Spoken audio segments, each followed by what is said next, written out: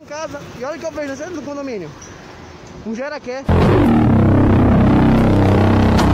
Fala meu mano, sou na suavidade, tio Rivale aqui. Hoje a análise vai ser de um anime com o protagonista mais estranho dessa temporada. Pra você ter uma ideia, o maluco não sabe nem comer. Mano, além disso, ele é simplesmente imorrível e não tem emoção alguma. Ele só deixa a vida ser levada. Mas vou dar um desconto porque ele foi jogado no mundão para se virar sozinho. Eu tô falando de Fumetos no Nata aí. Vamos ver o episódio 1 e só o começo do episódio 2, porque eu fiquei com preguiça de terminar. Mas não me julgue, eu tô ligado que a pia da sua casa tá cheia de louça porque você não lavou. Então estamos kits. E já deixa o like e bora pro vídeo.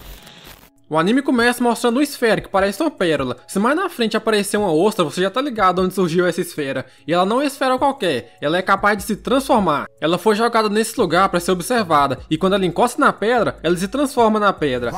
Passa algum tempo e surge um lobo com a perna toda lascada. Ele cai no chão e embaixo dele tá a nossa querida pedra. E voa lá, ela se transforma no lobo, que por sinal bateu as botas. E morreu. Agora a pérola tem consciência, apesar de não estar tá entendendo nem nada. Reproduziu até o ferimento, mas logo depois foi Já vimos então que o bicho é diferenciado. Quando chega a noite, aparece um maluco e chama o lobo de João. Quem que é doido de criar um lobo? Mais doido que isso são as pessoas que têm pincher. E esse também não é um lobo qualquer. Olha esses dentes para fora da boca. Me diz aí onde você já viu um lobo assim. Para ficar mais doideira ainda, só falta o lobo falar. Eles entram na casa e olha a cara de mal desse lobo. Eu tô brabo, mano. Eu é que não ficaria de costas para ele. Quando o cara tá preparando o rango, vão um pedaço de braço no nariz do lobo. E olha a reação dele. Esse aqui tá fazendo mais drama do que a atriz de novela. Parece que tá morrendo. Na hora da comida, o lobo nem sabe o que fazer. Abre a boquinha. Muito ruim, tá ligado? No outro dia, o cara fala que os ossos foram embora já faz 5 anos. Ih, rapaz, tô achando que eles não voltam mais, hein? Olha esse fim de mundo também que o cara vive. Ele fala que o pessoal foi em busca de um lugar melhor para viver. Ele também queria ir, mas o verdadeiro lobo não deixou e por isso ele ficou para trás. Ficou ele e algumas pessoas mais velhas que já bateram as botas. E é sacanagem, deixaram um asilo pro cara tomar conta sozinho. Ele e o lobo, na verdade, né? Só tem os dois agora. O cara vê essas paradas balançando e sai correndo no 12 achando que chegou alguém ali. Mas quando ele abre a porta, surpresa, tem ninguém, era só um peixe.